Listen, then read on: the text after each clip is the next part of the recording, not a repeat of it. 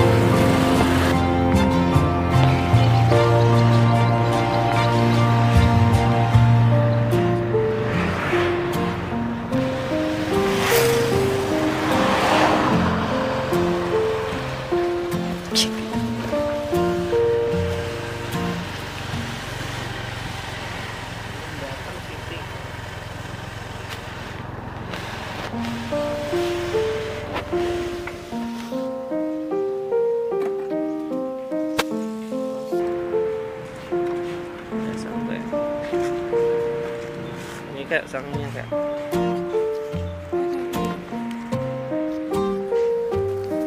Sarapannya dimakan mbak ya?